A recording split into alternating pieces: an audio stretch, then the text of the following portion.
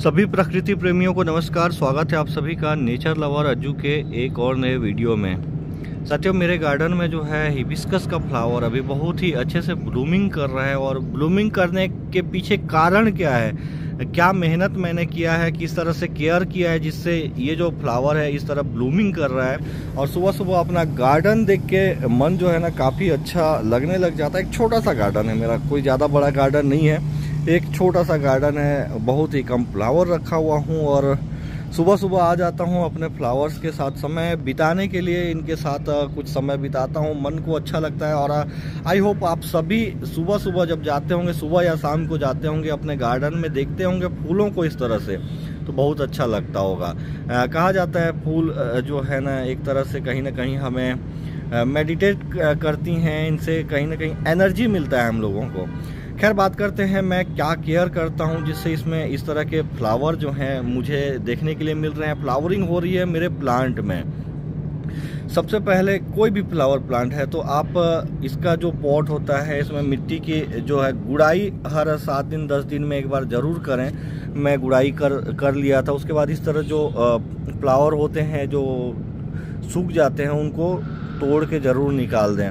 क्योंकि एक्सपेंड हुए फ्लावर जो हैं, वो भी कहीं ना कहीं एनर्जी लेते हैं आपके फ्लावरिंग प्लांट में। तो वो एनर्जी बचाने के लिए इस तरह के जो एक्सपेंड हुए रहते हैं फ्लावर उनको आप तोड़ दें। जैसा कि ये है, देखिए तो ये एक्सपेंड हो चुका है तो इसको मैं क्या करूँगा, यहाँ से तोड़ दूँगा।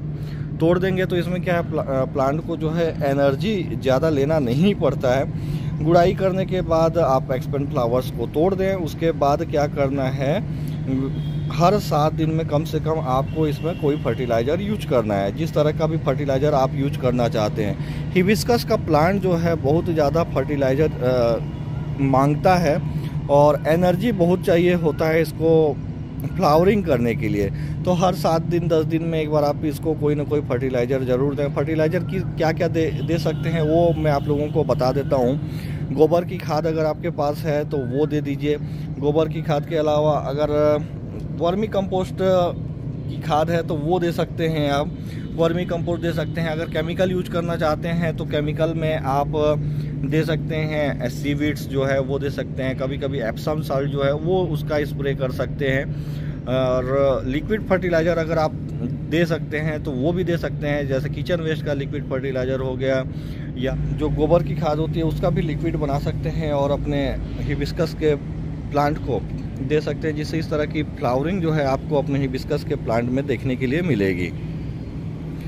और डिज़ीज़ की अगर बात की जाए तो हिबिस्कस के प्लांट में सबसे ज़्यादा खतरा होता है मिली बग का।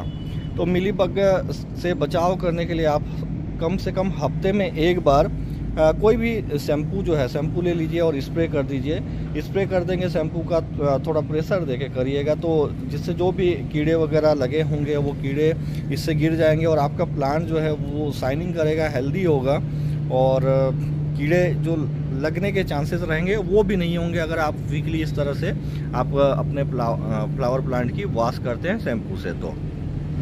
मैं अगर बात करूँ कि मैं क्या केयर करता हूँ तो मैं आपको बताना चाहूँगा, मैं इसमें कोई भी केमिकल फर्टिलाइज़र जो है अभी तक यूज़ नहीं किया हूँ। मैं इसमें बस वर्मी कंपोस्ट जो खाद है, वो गुड़ाई करके दिया हूँ। उसके अलावा मैंने इसमें किचन वेस्ट जो होता है किचन वेस्ट का लिक्विड फर्टिलाइज़र उसको यूज़ किया हुआ है। कि किचन वेस्ट का लिक्विड फर्टिलाइज़र यूज़ करता हूँ मैं इसमें। और कभी कभी जो ओनियन पिल होते हैं, उसका लिक्विड फर्टिलाइज़र बना के वो भी मैं देता हूँ। ओनियन पिल पिल का जो लिक्विड फर्टिलाइज़र होता है, वो काफ़ी बेस्ट होता है किसी भी प्लांट को न्यूट्रिशन देने के लिए पावर देने के लिए एनर्जी देने के लिए। तो आप उसका यूज़ जो है, वो भी कर सकते हैं। ये जो भी हिबिस्कस के प्लांट हैं, मेरे कटिंग से लगे हुए हैं, मेरे पास चार तरह के हिबिस्कस के प्लांट हैं। एक तो हैं ये पीच कलर का जो आपको नज़र आ रहा है, ये दो प्ला पॉट में मैंने लगाया हुआ है। एक पॉट जो है मेरा ये वाला है और दूसरा पॉट ये है। देन ये है एक जो रेड कलर का है, ये भी मैंने कटिंग से ही ग्रो किया हुआ था। बहुत मेहनत लगा था मुझे ग्रो करने में कटिंग से इसको, लेकिन फाइनली ग्रो हुआ।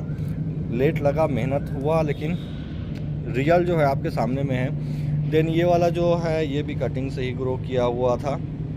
और इसके फ्लावर देख सकते हैं, कितने खूबसूरत कलर लगते हैं। डबल सेडेड कलर में है, बीच में दूसरा कलर और साइड में दूसरा कलर देख के बहुत ही प्यारा लगता है। देन एक ये है जो मुझे मिला था गिफ्ट में। इसमें फ्लावर की साइज़ जो है छोटी हो रही है, कहीं ना कहीं इसमें न्यूट्रिशंस की कमी हो रही है, जहाँ तक मुझे समझ में आ रहा है। इसके लिए इसमें फ्लावर की साइज़ जो है वो छोटी हो गई या हो सकता है ये इसका साइज़ ही छोटा होगा। इसमें भी खूब सारे फ्लावर्स जो हैं वो आ रहे हैं।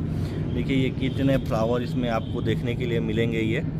और छोटे छोटे हैं, लेकिन बहुत ही खूबसूरत लगते हैं। तो बस इस तरह से मैं अपने ही विस्कस प्लांट की जो केयर है, वो करता हूँ। और फ्लावरिंग देख के बहुत ही अच्छा लगता है। अगर आप लोग वीडियो अभी तक देख रहे हैं तो आप लोग कमेंट करके बताइए, आपको इन चारों में से कौन सा कलर जो है अच्छा लगा? सबसे पहला कलर जो है, ये है मेरे पास। देन है पीच कलर का। फिर है ये, जो रेड कलर का। इसमें भी देखिए, एक साथ मतलब छोटा सा पौधा है, लेकिन भर भर के फ्लावर जो हैं, वो देखने के लिए मिल रहे हैं। देन है ये छोटा सा, टुचकुसा है, प्यारा सा कलर है ये। में से, इन चारों में से कौन सा कलर का हिबिस्कस जो है आपको अच्छा लगा? कमेंट करके ज़रूर बताइए अगर वीडियो अभी तक आप देख रहे हैं तो। और, जो टिप्स मैंने बताए, क्या फर्टिलाइज़र देना है, किस तरह से केयर करना है, ये करते हैं तो आपके हिबिस्कस के जो प्लांट हैं, उसमें फ्लावर जो है कुछ इस तरह से भर भर के आने वाले हैं। तो आई होप आप लोगों को आज का ये हिबिस्कस प्लांट केयर का वीडियो जो है, देखिए अच्छा लगा होगा। वीडियो अच्छा लगा हो तो वीडियो को लाइक करिए, अपने दोस्तों के साथ शेयर करिए। चैनल पे अगर आप नए हैं चैनल को सब्सक्राइब कर लीजिए बेल आइकॉन को प्रेस कर लीजिए, ताकि इसी तरह के प्लांट एंड नेचर के वीडियो के नोटिफिकेशन जो हैं, आप लोगों को देखने के लिए मिलते रहें। आज का वीडियो देखने के लिए बहुत बहुत धन्यवाद। Happy gardening